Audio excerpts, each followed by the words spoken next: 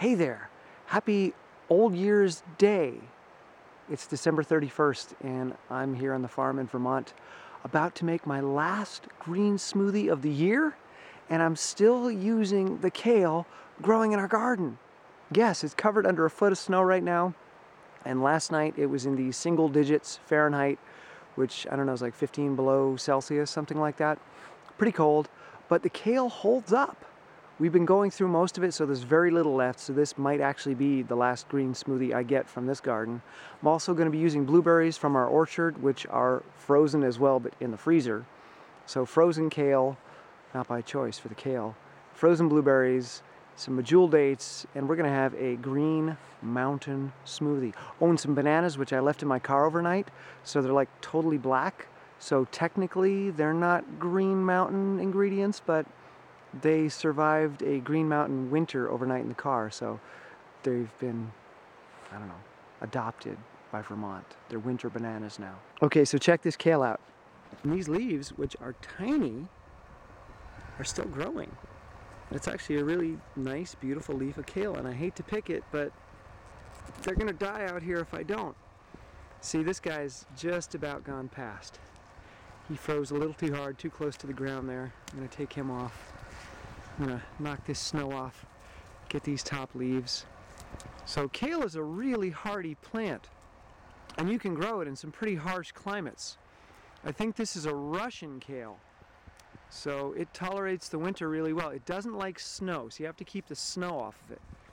But it can tolerate uh, below zero. Last year we had kale in January that had tolerated several below zero days.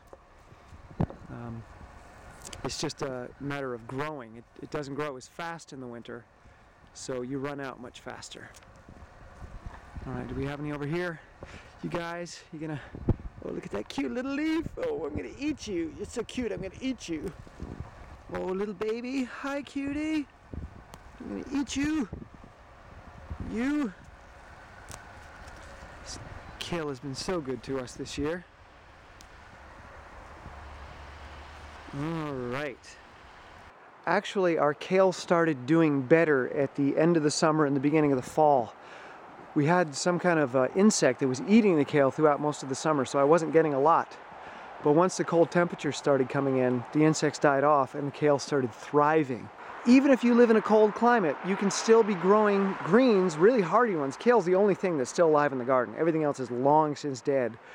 But the kale keeps on ticking. And maybe I'll leave one plant growing just to see if it can make it all the way through January. Right? So there's no excuse not to have greens in a garden if you've got a little bit of land to grow it on. So as they say here in southern Vermont, I'm gonna go inside now and blend up some greens and blueberries and bananas and dates and get my smoothie on, you know. That's right, I'm going there and do it right now. And then I'm gonna go outside and build a luge. That's right, we're gonna shovel some snow and we're gonna have a candle lit luge run tonight out here into the moon and uh, get our snow play on. See ya! People are always asking me to show them the view outside of my window. So here's the view outside the kitchen window. There's our lower garden and our barn down there. And uh, pretty sky today. So for the ingredients of today's Green Mountain smoothie, we've got Vermont grown kale, survived the winter. We've got a banana that survived single digits in my car last night. We've got four medjool dates, which are my favorite food in the world, so I'm adopting them as well. And we've got some frozen blueberries grown here on the farm. I'm going to use about half a cup of those guys. 16 ounces of well water, and we're rock and rolling. I just heard a little chirp behind me, which reminds me that I almost forgot the most important ingredient of all. You can't make a Green Mountain smoothie without adding a little bit of love. So check this out. I got a supply of love behind me waiting. Wow. And here she is. This is my endless supply of love. This is my Chirpa. My little girl of 14 years. And she just had a some kind of illness or something that made one of her eyes go dark. So I'm calling her Black-Eyed Susan. And she's my little sweet pea. So I'm going to soak up some love here. And then I'm going to bring it over and share it with the smoothie. You want some smoothie, Chirp? Hmm? You want some? Oh, Chirpa. Sweet little Chirpa.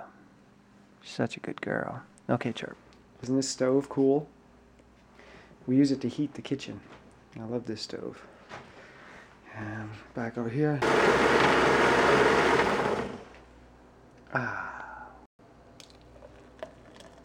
Just what the doctor ordered. Mm, mm, mm. So cheers to a wonderful new year in 2013. And make sure you start the new year off right by doing one of these guys on the last day of 2012. Know what I'm saying? Mm-hmm. Set yourself up for success. See ya.